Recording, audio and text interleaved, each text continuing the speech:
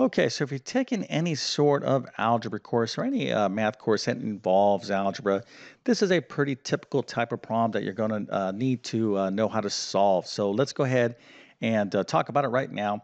So in this particular problem, we have a train, and a train travels 100 miles in one hour and 20 minutes. So the question is, is how long in terms of hours, how much time in terms of hours will take this train to uh, travel 460 miles.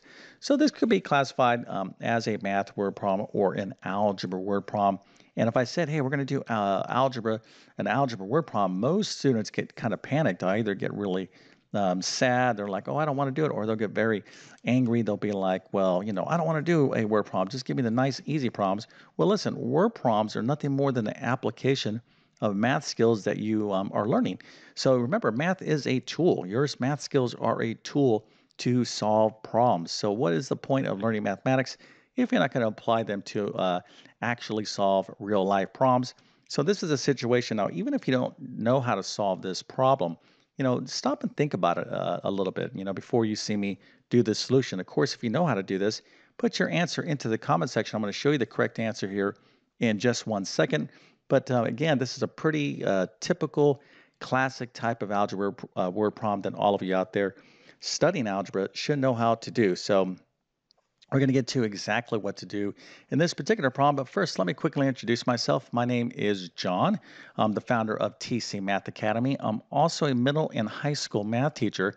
I've been teaching math for decades, and I've come to the conclusion, okay, over all those years, that all students can be successful in mathematics, but it requires great math instruction. You got to be learning from a teacher that you really understand. So that's clear, understandable, and comprehensive math instruction. That's what you need to be successful in mathematics. So if you need help in your current math course or some sort of special test that you're studying for, maybe something like the GED, SAT, ACT, ASVAB, teacher certification exam, anything with math on it, or if you're homeschooling math, check out my math help program. I'm going to leave a link to it in the description of this video. I promise it will help you out big time. Also, I'm going to leave links to my math notes in the description of this video, but you should be taking your own awesome math notes. Uh, note taking is so important uh, when you're learning anything, not just math, any academic subject, subject, you want to be a great note taker. And if this video helps you out, don't forget to like and subscribe, as that definitely helps me out. Okay, so I'm going to go ahead and show you the solution uh, to the problem right now, and then we're going to get into exactly how to solve this. All right, so here's our train. The train uh, took one hour and 20 minutes to go 100 miles. So 460 miles, how long will it take that train in terms of hours? Well, 6.13 hours. That is the correct answer. So, um, of course, um, you could uh, this is kind of rounding off a bit of a decimal, but it should be your um, answer, your correct answer should be somewhere pretty much approximately uh, equal to 6.13. Okay, so how'd you do? Well, if you got this problem right, let me go ahead and give you a nice little happy face and A++ plus because this is a word problem. A 100% and multiple stars for being so awesome at basic algebra word problems. So nice job. But if you are confused, well, stick around for a couple minutes. You're going to learn exactly what to do. Now, to solve this problem, we're going to need a formula. Okay, so that's one thing we're going to need to know. And kind of the um, the main idea to solve this problem is uh, finding the speed of the train. Okay, so here we know how uh, long it took this train to go a particular um, distance, right? But we don't know the speed of the train. So that's going to be a key component here. How do we find the speed or the rate of this train? Well, I'm going to get into a second, but once we uh, get into that in a second, but if we know the speed of the train, then we can easily calculate this part of the problem. Okay, so let's go ahead and get into this now. All right, so what do we know? What are the facts? Well, we know that this train took one hour and 20 minutes to cover 100 miles.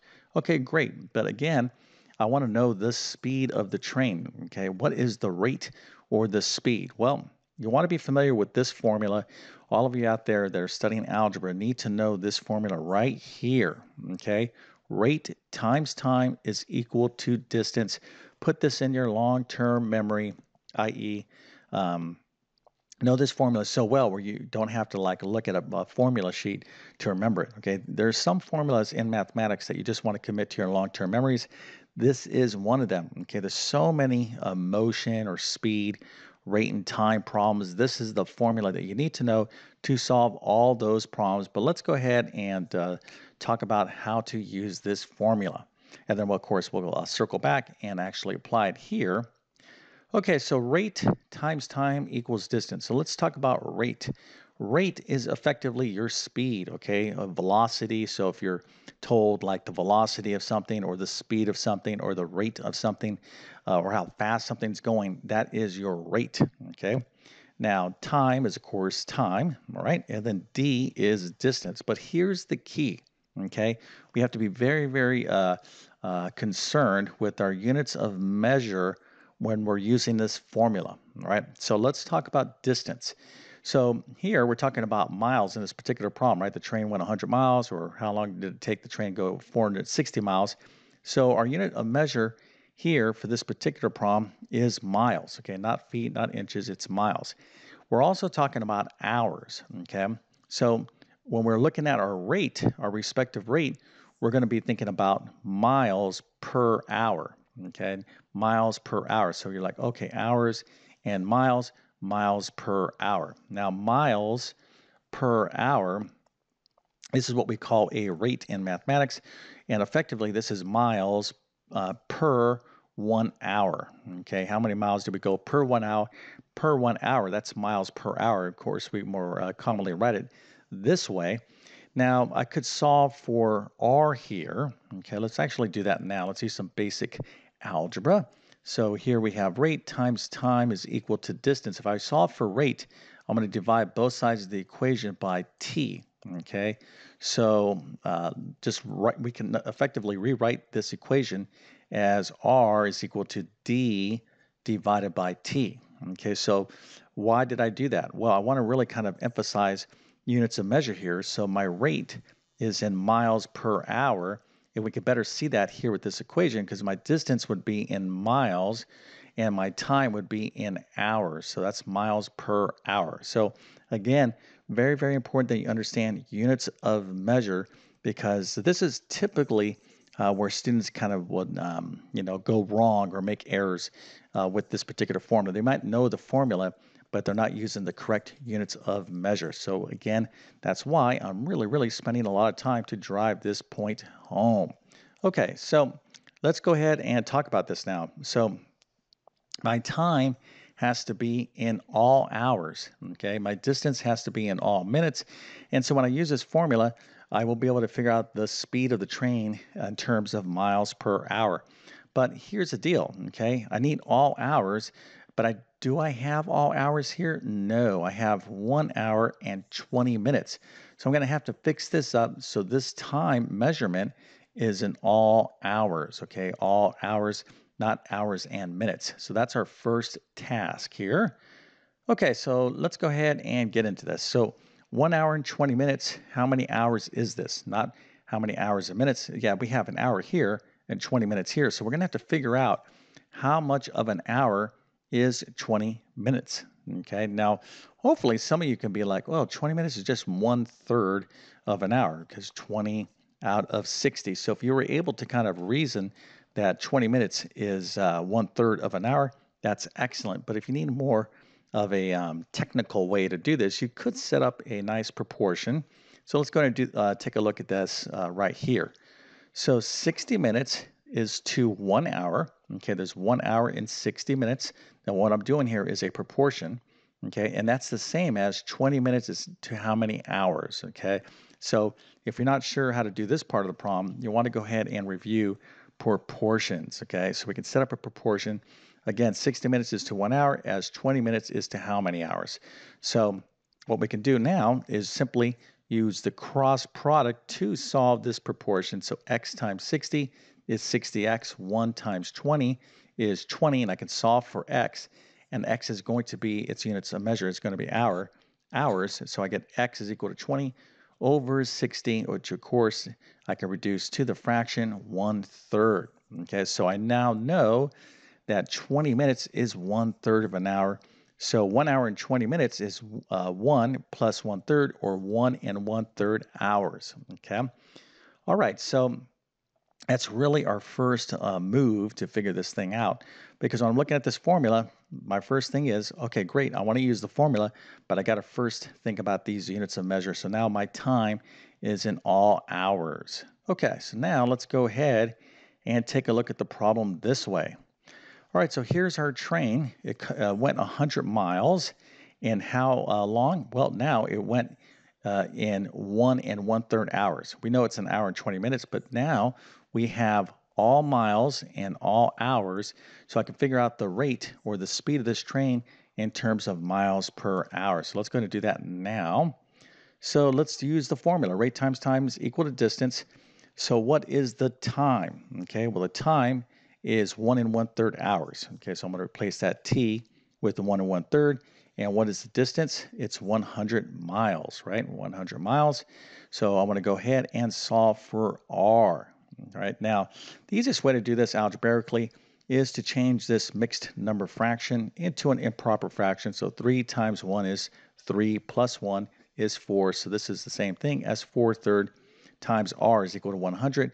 So to solve this basic algebra equation, the easiest thing to do is to multiply both sides of the equation by the reciprocal. Okay, you could divide both sides of the equation by 4 thirds. It's the same thing as multiplying both sides of the equation by the reciprocal. So again, if you're confused about this part right here, what I'm doing, you need to solve or you need to review basic equations. So uh, remember, this is an algebra word problem. We're applying math skills that you should already know. So if you're lost, you, you probably need to um, review basic equations, proportions, etc. All right, so but if you understand this, we can solve for r. to simply multiply both sides of the equation by 3 fourths. And uh, let's take a look at the answer. All right, so r is going to be equal to, this is a fraction right here, 300 over 4. 300 divided by 4 is 75. But again, we're thinking about units of measure. So the rate is 75 miles per hour. Okay, that's how fast our train is going. Okay, so now that we know uh, how quick or how fast this train is going, the rate of the train, this train is going 75 miles per hour. Okay, how long does it? Um, how long will a train going 75 miles an hour take uh, to cover 460 miles? Well, uh, this here it's going to be nice and easy because its units of measure is in miles, and here uh, we have miles per hour. So when we use the rate times time equals distance formula, our answer is going to be in hours, and that's what we want. So let's go ahead and figure this out. So rate times time is equal to distance. We know the rate, okay? The rate is 75 or 75 miles per hour. T is what we're looking for, right? And this is going to be in hours because this is miles per hour and our distance is in miles. And so this is already set up nice and easily for us or nice uh, and correct because we already did the work up front. So to solve for T, I'm going to go ahead and divide both sides of the equation by 75 so that's going to be 460 divided by 75, which is 6.13. And again, you need to understand what, what is the unit of measure. That's in hours, and that's what we were looking for. So there you go, okay? All right, so probably this uh, problem, okay, I would say for a lot of you, probably the, the point that um, you need to work on, well, it's actually going to be a couple things. So the first thing I would strongly suggest you um, make sure you understand is working with units of measure. When you're working with particular formulas, uh, any formula, okay, physics, math doesn't make a difference. You want to be thinking about units of measure and how to convert one unit to another, right? And of course, I can't explain all these things in this one uh, video, just kind of highlighting the different skills that you need to be aware of. So that's the first one. The second thing is you need to um, know how to solve equations, okay, various equations, and uh, solve for specified um, variables in a particular formula as well. So if you need additional help uh, with these basic kind of algebra word problems, I'm going to uh, go ahead and point you towards my Algebra 1 course in my Math Help program. Of course, I cover word problems in my pre-algebra course as well. Uh, algebra 1, Algebra 2, all my math courses, you'll uh, see uh, word problems, and I have additional videos on my YouTube channel that can help you out. But if this particular video helped you out, don't forget to like and subscribe And with that being said, I definitely wish you all the best in your mathematics adventures. Thank you for your time and have a great day.